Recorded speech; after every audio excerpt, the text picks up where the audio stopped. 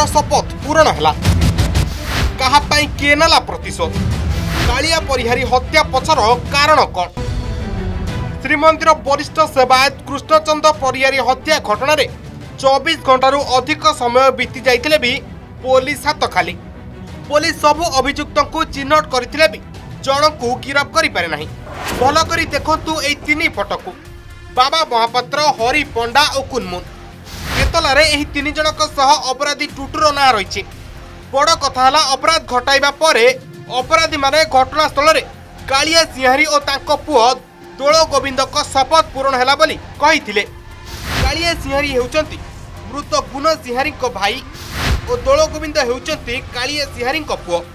ଏତଲାରେ କାଳିଆ ସିଂହାରୀ ଓ ଦୋଳ ଗୋବିନ୍ଦଙ୍କ ନାମ ଉଲ୍ଲେଖ ରହିଥିବାରୁ ପୋଲିସ ମଧ୍ୟ ଗୁଣ ସିଂହାରୀ ହତ୍ୟାକାଣ୍ଡ ସହ କାଳିଆ ପଡ଼ିଆରୀଙ୍କ ହତ୍ୟାକୁ ନେଇ ଖିଅ ଖୋଜୁଛି। ଗୋଟିଏ ପଟେ ପ୍ରତିଶୋଧ ଅନ୍ୟପଟେ ପୂରଣ ହେଲା ଶପଥ। ଏଭଳି ଦୋ ଛକିରେ କାଳିଆ ପଢ଼ିଆରୀଙ୍କର ମୃତ୍ୟୁକୁ ନେଇ ତଦନ୍ତ ଆରମ୍ଭ କରିଛି ପୁରୀ ପୋଲିସ। ଇଏ ହେଉଛି ବାରବାଟୀ ଜାଗାର ଦୃଶ୍ୟ।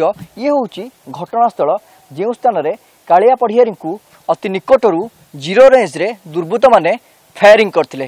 ଘଟଣାସ୍ଥଳରେ ହିଁ ଟଳି ପଡ଼ିଥିଲେ କାଳିଆ ପଢ଼ିଆରୀ।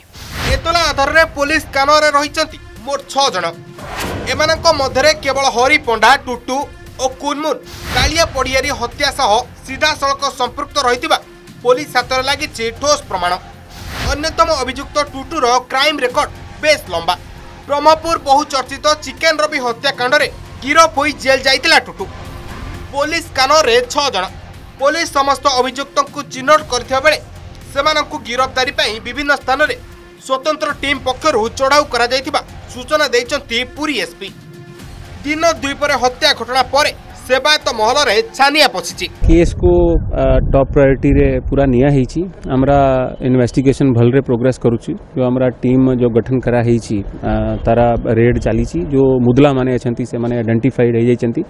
ଆଣ୍ଡ ବହୁତ ଶୀଘ୍ର ଆମର ଫୁଲ୍ ପ୍ରୟାସ ଅଛି କି ଆମେ ବହୁତ ଶୀଘ୍ର ତାକୁ ଧରିଦେବୁ। ଏଇଭଳିଆ ବାରମ୍ବାର ସେବାୟତଙ୍କ ପ୍ରତି ଯେଉଁ ଘଟଣା ଦିନ ଦ୍ୱିପହରେ ଘଟୁଛି ଆମେ ନିଜକୁ ସୁରକ୍ଷିତ ମନେ କରୁନାହୁଁ।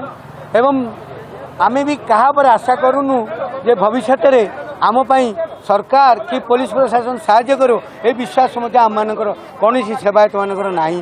ସାଧାରଣ ସେବାୟତ ଘରୁ ବାହାରିବାକୁ ମଧ୍ୟ ଭୟଭୀତ ହେଲେଣି।